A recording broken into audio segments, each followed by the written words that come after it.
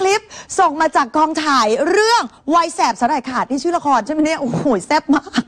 แล้วไปเรื่องใครรู้ไหมอาเล็กธีรเดชค่ะ ลงไอจีนะท่าทีดีมากเลยดูสิเป็นหนุ่มนักกีฬาชุดบาสแต่เบื้องหลังค่ะคุณคะกองถ่ายละครไม่ปล่อยผ่านค่ะ ส่งคลิปอาเล็กอันนี้มาคุณจะได้รู้ว่าเบื้องหลังภาพนี้มันคืออะไรเชิญชมค่ะ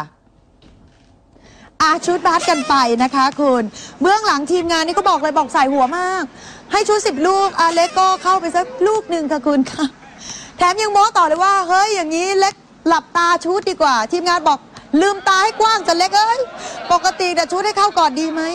หลังจากนั้นก็คุณก็กระชุดไปเรื่อยๆ ชุดลูกสี่แล้ว ลูกห้าแล้ว พอมาถึงลูกหกกับคุณเดี๋ยวจับตาดูให้ดี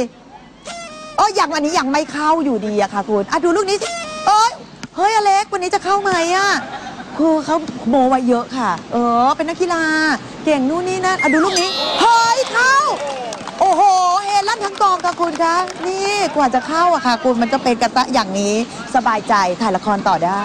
เออนายคะ แต่ถ้าดูละครเออคลิปนี้แล้วอย่าเพิ่งคิดมากกองถ่ายบอกว่าไม่ใช่เอาเวลางานมาเล่นนะคะ นี่ชูคือช่วงเวลาพักกอง